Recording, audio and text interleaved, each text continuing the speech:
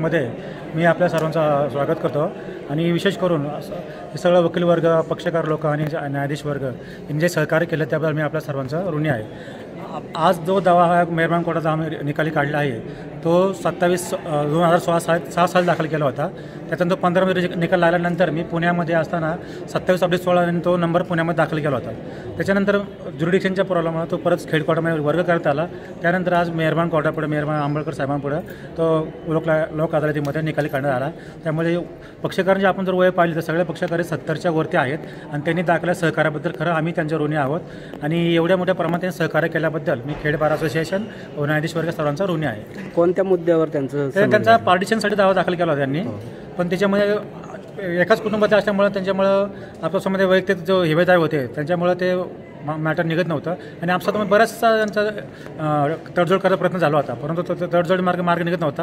आणि शेवटी आज तो योग आला आणि आज त्या पार्टिशन दाव्यामध्ये दोन्ही क- पार्टीच्या संगनमताने दावा निकाली काढण्यात आलेला आहे. ढोरे विरुद्ध ढोरे हा दोन हजार सहा साली दाखल झालेला दावा वाटपाचा दावा होता.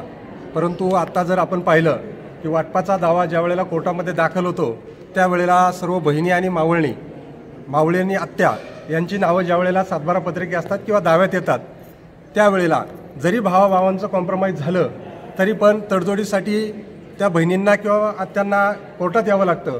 आणि या दाव्यामध्ये सुमारे चाळीस पक्षकार असल्यामुळे सर्वांची वय जास्त असल्यामुळे सर्वजण एकत्र येऊ शकत नव्हते. आणि या कोरोनाच्या काळामध्ये दोन वर्ष हा दावा तडजोडीसाठी रखडला गेला होता.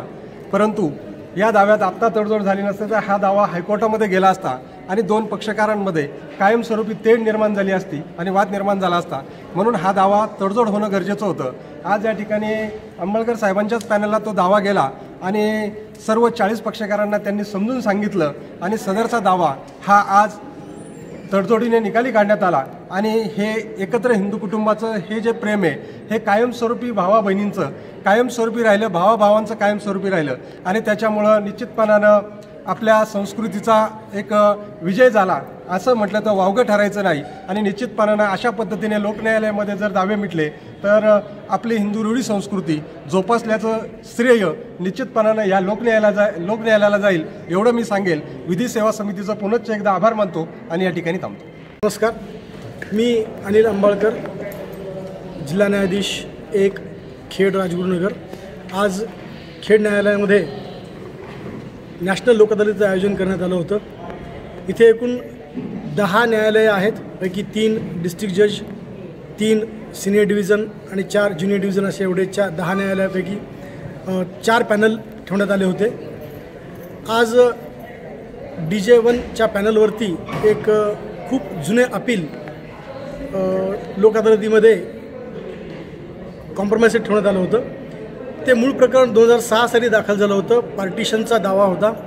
त्याच्यात एकूण छप्पन्न पक्षकार वादी प्रतिवादी अपॅलंट रिस्पॉन्डंट या स्वरूपात होते. आणि आज सर्व एकत्र जमले आणि सगळ्यांची चर्चा मसलत होऊन त्यांचे वकील दोघांचीही वकील मंडळी त्यांनी खूप सहकार्य केलं. आणि शेवटी आज इतक्या वर्षानंतर जवळपास पंधरा सोळा वर्षानंतर सर्व पक्षकारांमध्ये समेट घडवून आला आणि आज ते प्रकरण निकाली निघाले. आजच्या लोकन्यायालयामध्ये अ, सगळ्या क्षेत्रातून चांगल्या प्रमाणात प्रतिसाद मिळाला.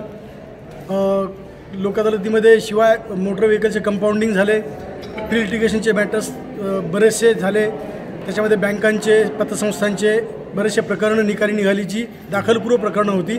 जी पेंडिंग प्रकरणं होती तीसुद्धा बऱ्यापैकी नि निकाली निघाली. आणि महालोकादलीच्या या आयोजनामध्ये बार असोसिएशन अ, खेडचे अध्यक्ष श्रीयुत शिंदे वकील साहेब आणि त्यांचे सर्व कार्यकारिणी आमची सर्व न्यायाधीश मंडळी आणि सर्व सन्माननीय सदस्य बार असोसिएशनचे सर्व सिनियर ज्युनियर्स आणि पोलीस कर्मचारी या सर्वांचा सहभाग होता त्यामुळे आजचं महालोक अदालत यशस्वी होऊ शकले. ज्यावेळेला एक- एखादी कुणावर अडचण येते किंवा कोणाला काही प्रश्न निर्माण होतो त्याचा प्रश्न मिटवण्यासाठी गाव पातळीवर जर मिटला नाही तर त्याला कोर्टात द्यावं लागतं. तसं जर पाहिलं या केसेसचं आम्ही पंचेचाळीस ते पन्नास वर्षाचा साक्षीदार आहे. कारण हा दावा आमची बहीण आणि तिचे भाया म्हणजे दीर यांच्यामध्ये होता. खरं तर म्हटलं की घरगुतीचा हा प्रश्न आहे. त्यावेळेपासून ते म्हणत होते की आम्हाला त्यांची जमीन त्यांना द्यायची. त्यांच्याकडून आम्हाला घ्यायची. बाकीचा काही प्रश्न नाही. असा हा जवळजवळ मला वाटतं दोन हजार सहा म्हणजे दोन हजार आपलं एकोणीसशे चौऱ्याहत्तरपासून. तर दोन हजार सहापर्यंत हा गाव पातळीवर गाव बैठकीत किंवा नातेवाईकांच्या बैठकीमध्ये हा प्रश्न सुटला नाही. शेवटी दोन हजार सहाला कोर्टात न्याय मागायची पाळी आली आणि दोन हजार सहा नंतर तो मध्ये पुन्हा एकदा मला वाटतं दोन हजार सोळा साली तर ते काहीतरी मला वाटतं ती केस त्यांनी थो थोडीशी काही स्थगित केली का काय म्हणजे निश्चित कळलं नाही. पण त्याचा पुन्हा एकदा दावा लावल्यानंतर तो योग आज जवळजवळ चाळीस पंचेचाळीस वर्षांनी आला आणि त्याचं श्रेय तसं पाहिलं तर आमचे गोगावले वकील साहेब आणि लिंबोरे साहेब वकील साहेब. त्याचप्रमाणे खरंच खरं श्रेय या जिल्हा न्यायालयाचे मुख्य न्यायाधीश आंबळकर साहेब की जनमानसामध्ये सर्वसामान्य जनतेची जाण आणि वास्तववादी जे त्यांचं म्हणजे निरीक्षण असेल किंवा अनुभव असेल त्यातून त्यांनी या आमच्या दोन्ही वकील साहेबांना सांगितलं. हा घरगुती घरगुती मॅटर आहे मिटण्यासारखा आहे. मिटून घ्या. त्यांनी आम्हाला सांगितलं दोन्ही पक्ष म्हणजे दोन्ही पार्ट्यांना ते पटलं आणि त्यानुसार ही कारवाई झाली. आणि प्रत्येक वेळेला कोर्टामध्ये निकाल म्हणजे न्याय होईल असं काय निक- नक्की सांगता नाहीत. निकाल होतो पण न्याय होईलच असं सांगता नाहीत. पण आता हा न्याय झालेला आहे एवढंच मी या ठिकाणी सांगतो. आणि अंध आपलं आंबेडकर साहेब आमचे दोन्ही वकील साहेब आणि दोन सगळ्या बाजूचे जे प जी आमची मंडळी दोन्ही बाजूचे आहे, या सर्वांना मी मनोमन धन्यवाद देतो आणि